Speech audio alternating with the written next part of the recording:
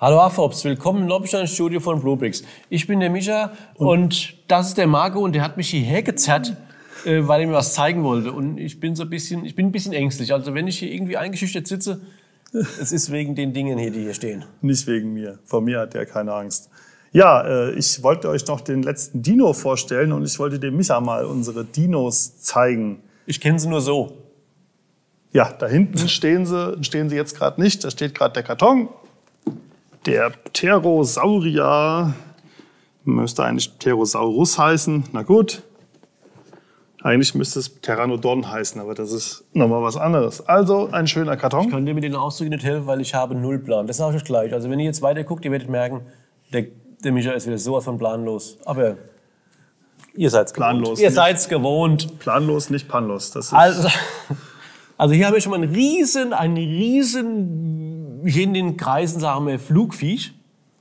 Äh, das, das sind, ich habe es gerade gemessen, eben nochmal, das war 90, 92 Zentimeter. 92 Zentimeter Flügelspannweite. Jawohl, ein wunderschön bedrucktes äh, ja, Flügelhaut, eine, eine wunderschön bedruckte Flügelhaut. Das wird Bartosch mal noch von oben filmen, damit ihr es schön mmh, seht. Flügelhaut, so knusprig. Ein, ein wunderschönes Set. Äh, laut, der, laut dem Schild ist es ein Triceratops.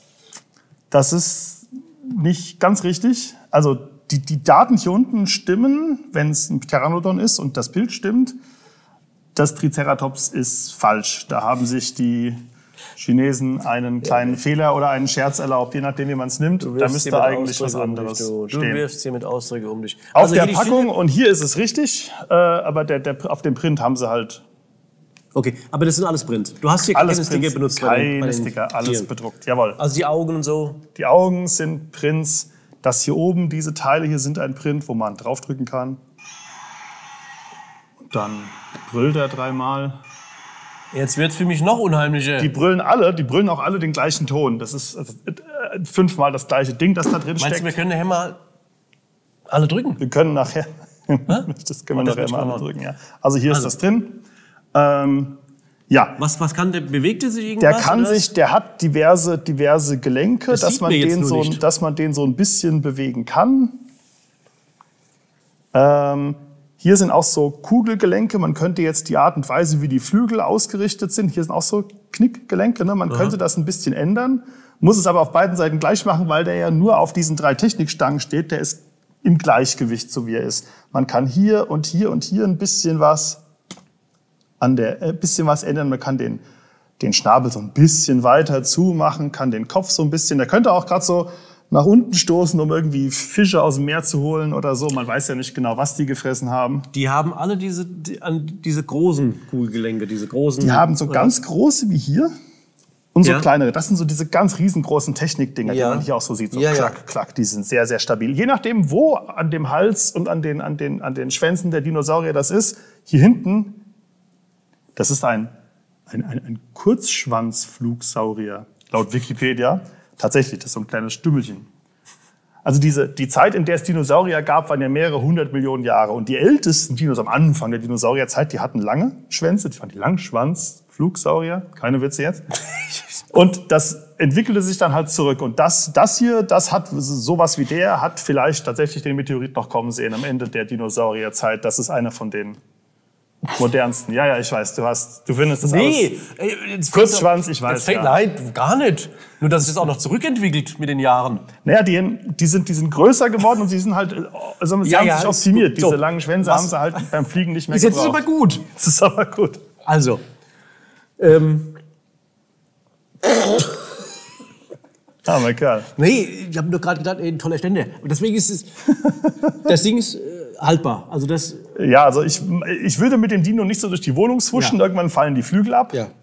Ähm, es ist ein schönes Displaymodell und es, es steht und es ist gut. Ich würde es auch beim, beim Rumtragen, ich würde es mhm. vom Ständer runternehmen zum Rumtragen. Das sind das alles Displaymodelle, alle diese, die, also damit ja. willst du nicht wirklich spielen. Richtig. Aber das Ding ist, das ist grandios. Was halt wirklich toll ist. Ja, zeig mal. Oh, hier ist meine Anleitung nass geworden. Ich lass mal fliegen. Das zeige ich hier nochmal. Das ist dieser Flügel, das ist ein Teil. Das, ist, das geht von hier bis hier, das ist ein, ein Kunst, ein, ein, ein, Stoffelement, ein Stoffelement, das hier so eingesetzt wird. Das hat hier in der Mitte ein Loch und dann wird das draufgebaut. Das wird also hier quasi festgeklemmt mhm. und steckt dann hier drin. Also das geht hier hinten so rum, das sieht man auch hier hinten und hier vorne geht's auch rum. Also das ist ein großes, schönes. Wie war das mit dem Bauen bei dem, bei dem Ding? Hast du da irgendwie. Das sieht mir jetzt nicht so einfach aus, wenn ich ehrlich bin. Also nicht so. Ist es, ist es aber eigentlich. Also es sieht, bis der Kopf dran ist, sieht es wirklich aus wie ein gerupftes Hähnchen. ja. Die Flügel kommen zum Schluss. Äh, das sind vier oder fünf Bauschritte. ist auch das Blangenese hier, das Gummihuhn. Ja, ja. Ähm, äh, ist halt mehrere Bauschritte. Du brauchst das linke Bein, du brauchst das rechte Bein, du brauchst den Rumpf. Das ist alles total einfach. Ist auch spiegelsymmetrisch. Ne? Links mhm. ist wie rechts und mhm. so. Ist kein Problem. Und zum Schluss baust du diese langen Flügelelemente. Äh, äh, die, die Stoffflügel, die werden halt hier, die werden hier auf solche, auf solche, auf solche Haken draufgesetzt ja. und dann wird das von oben noch fixiert, ja. dass sie nicht mehr raus können. Ja. Und dann richtest du die Flügel einmal aus und bums, sieht er plötzlich viel größer aus, weil diese gigantischen Flügel. Margot, Frage. Die, du hast hier Gelenke dran. Und der hat dir, der fliegt ja so. Das heißt also, der, die, die Füße sind jetzt nach hinten umgedreht. Kann der auch, könnte der, hast du probiert stehen? Das habe ich tatsächlich noch nicht probiert. Dazu müsste man die Flügel irgendwie anklappen und dann, dann gehen die auch so über ihre Hände. Weil Wenn wir mit dem Video zum Ende kommen, werde ich das probieren. er wird sich nicht freuen, aber ich werde es probieren. Was übrigens auch spannend ist, das hier. Ja. Das sind ihre Ringfinger. Was? Wo? Das hier sind ihre Ringfinger. Also die haben vier Finger, eins, zwei, drei und der vierte Finger, der ist total verlängert, der ist der äußere Teil der Flügel. Also Oberarm, Unterarm, das hier ist schon ja. der Handknochen, mhm. Finger, hm? Und das ist der vierte Finger. Finde ich, finde ich spannend. So vom einfach, einfach, ja, ja, vom Skelett her. Ne? So ist es bei denen so. so stell dir vor, du hast einen Finger, der hier irgendwie noch. Hm. So ein bisschen wie bei den, den Fledermäusen ja, oder so. Ne? Nee, da haben wir ein Problem mit der Handschuhe, ist blöd. Ja. Ähm. ja, ähm, ich finde den, find den nett. Er hat weniger Teile als die andere. Er hat nur 1328. Aber diesen gigantischen Flügel. Er ist doch irgendwie der größte. Ne? Haben, wir, haben wir hier alle? Wir haben ja alle fünf. Ich weiß nicht, alle waren fünf? fünf? Keine sechs, fünf. Fünf. Okay. Äh, es, es kommt noch einer, aber es gibt noch so ein toller Mosasaurus als Ankündigung, aber ich glaube, der ist von Panlos, der ist nicht von Forange, also ein Meeressaurier, sieht auch toll aus. Passt hier dazu, ist aber nicht die gleiche Serie. Es kommt zu der Serie aber auch noch was. Das sind so kleine Dinosaurier, die aus dem Ei gerade schlüpfen. Die sehen total knuffig aus. Können wir auch mal einblenden. Auch von Forange, ohne Soundmodul, so kleine, süße mhm. Dinos aus dem Ei. Cool. Also das die könnten die ja vielleicht Marke. als Kinder dazu passen. Die könnten, ja, ja, genau, genau. Also ich finde das schon sehr abgefahren. Es ist nicht mein äh, Genre hier und ich kann euch auch keinen von den Viecher mit Namen nennen. Ich würde die selbst benennen irgendwie mit, äh, keine Ahnung, hier Gabi, Herbert und sonst was. Äh, aber die sehen schon, sie sehen einfach cool aus für, für Dinosaurier, muss ich sagen. Also das ist, mach ja. die mal zur Seite. Ich würde gerne noch mal kurz, weil ich habe es noch nicht gesehen. Ich würde die auch gerne noch ein bisschen näher. Wenn wir die Zeit noch haben. Ja, wir haben die Zeit. Bevor ich den zum Sitzen bringe. oh je. Also, das hier ist ein... Triceratops. Da stimmt das Schild jetzt tatsächlich. Äh, drei, drei Hörner im Gesicht quasi mit diesem das ist ein ganz bekannter mit diesem großen äh, Ja, das ist ja, ist, äh, wir haben ja hier äh, Langhals, äh, Schafzahn und Breitmaul. Nee, keine Ahnung, ich weiß, welchen Film du meinst, aber dass ich den gesehen habe, ist tatsächlich lange her. Wir haben eine Tochter geguckt, aber okay. das ist jetzt schon, aber schon 20 Jahre her. Ja. Ich glaube, Breitmaul?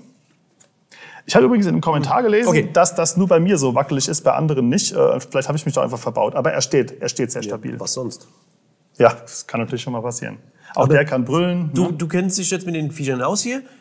Wie nah denkst du denn sind die so an dem? Also das, das kommt schon gut hin. Also die, diese, diese Dinger hier, die äh, sieht man jetzt an den Knochenfunden nicht. Aber solche Sachen wie so Fingernägel, die sind ja oft auch nicht mit dem Knochen verbunden. Man, man weiß es nicht. Das ist künstlerische Freiheit. Aber so, die sind schon so, wie man den, denkt, ja, ja. wie sie wirklich mal aussehen haben. Also das ist schon ja, sehr Genau. Sie sind nicht alle im gleichen Maßstab, das muss man dazu sagen. Sie sind alle grob gleich groß. Naja. Aber der hier wiegt eigentlich eine halbe Tonne, während der hier irgendwie 10 Tonnen, 12 Tonnen wiegt. Also er hat ja auch einen Panzer kann man nicht vergleichen. Große. Bei ihm habe ich jetzt mal diese, diese seitlichen Kämme, die hier noch dran sind, weggelassen. Dann steht er besser und ist auch böse. näher am Original. Das ist so künstlerische Freiheit auch, dass die so. Das ist ganz böse. Oder? Es ist ein Raubsaurier. Ja gewesen, aber auch einer, der so am Anfang der Dino-Zeit war. Die beiden haben sich nie, sind sich nie begegnet. Nein? Nee, nee, der war seit, der war, der war versteinert fossil, hm? lange bevor der kam. Ach, 100 Millionen Jahre älter, ja? sieht gar nicht so aus. Ne? Aber ja, der ist. Okay, also die, äh, das, das weißt du. Das weiß ich, das also habe die ich, habe ich nachgelesen. Die beiden kennen sich nicht.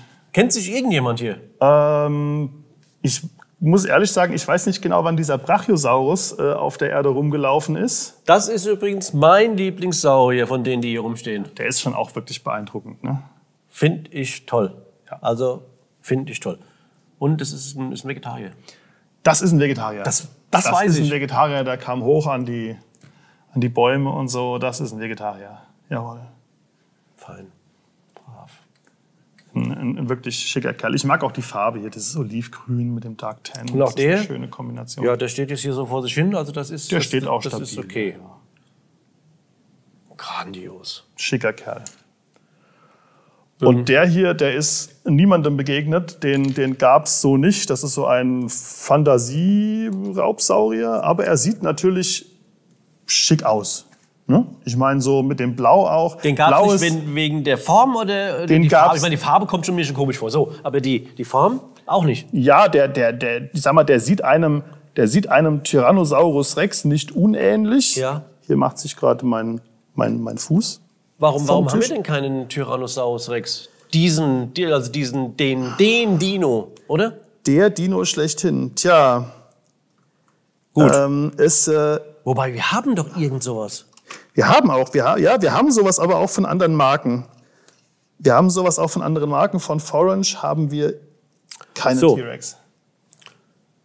Das hier ist, äh, der hat ein bisschen was von so einem Godzilla-Kopf, Ja, ja, ja. oder? Stimmt.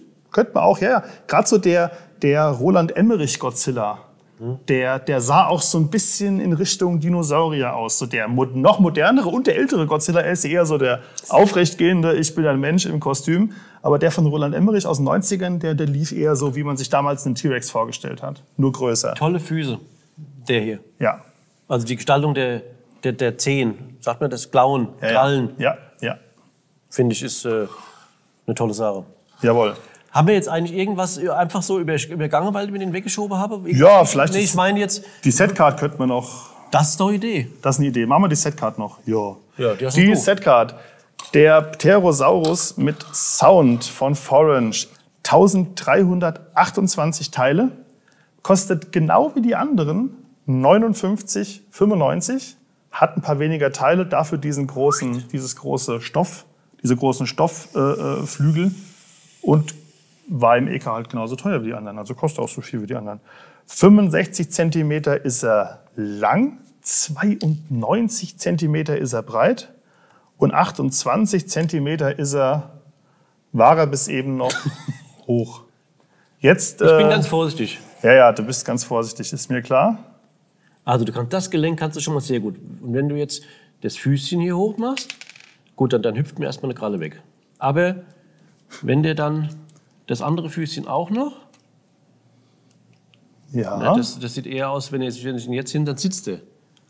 ja, ja, und jetzt müsste man die, Dann würde er sitzen. Das macht ja keinen Sinn. Das sieht ja aus, als ob er mal müsste die, die Toilette müsste. man müsste die Arme jetzt irgendwie noch, puh, so einklappen irgendwie so.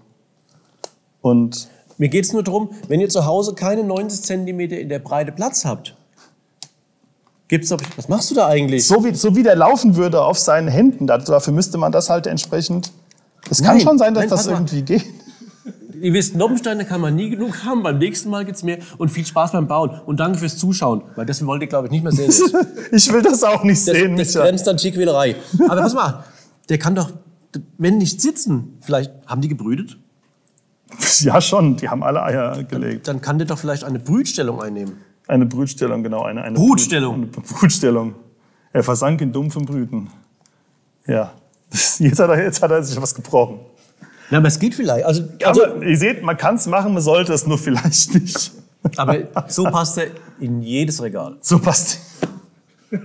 Kann man einfach die Teile in den Tüten lassen, da passt er auch überall hin. So, so, also jetzt habe ich auch wenig Angst davor. Ja, jetzt hast du, ja, jetzt habe ich, Ne? ich habe jetzt Angst um das Ding. So, jetzt, jetzt, jetzt ich, ich muss weiterarbeiten. Du musst ja genau, du musst weiterarbeiten und ich baue jetzt meinen Dino wieder zusammen. Also. Tschüss.